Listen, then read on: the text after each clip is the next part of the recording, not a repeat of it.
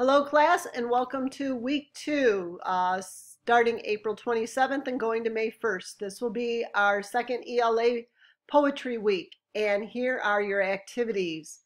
On Friday, I gave you this format for your Where I'm From poems. This is your template and there is a video on Google Classroom on how to complete the template.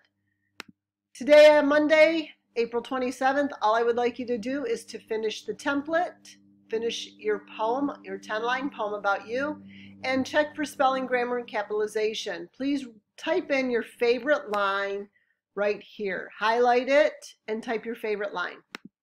On Tuesday, I would like you to do some grammar review on quill.org.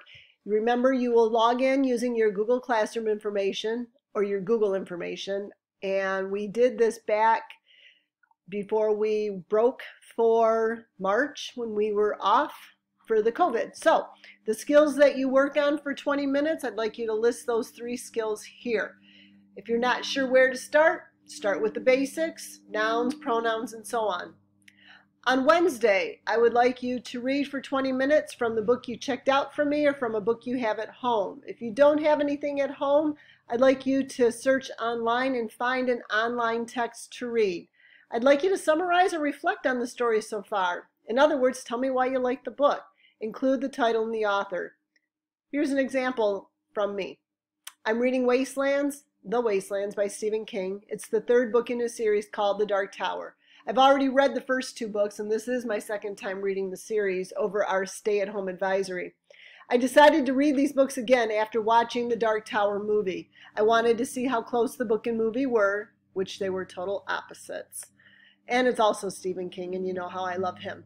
I'm enjoying my reading the second time as I'm picking up many things that I have forgotten from the first read.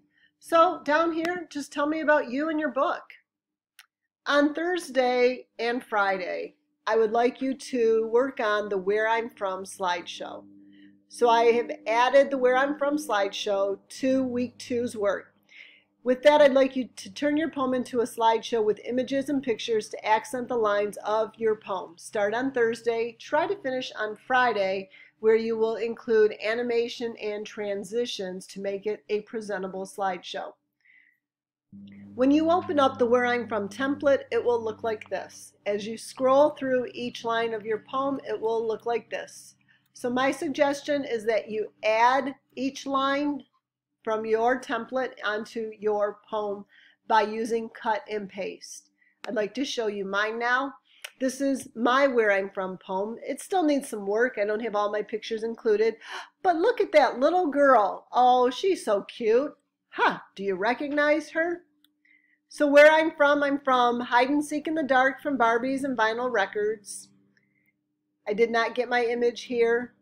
So you're just basically adding images of importance to you. If you can find some baby pictures of yourself or your family and want to add those in, please feel free to. All right, when you are finished, you will click Turn In, and that will be the end of your second week.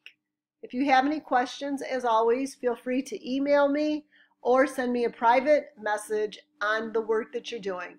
Have a great week, and I will talk to you soon. Bye.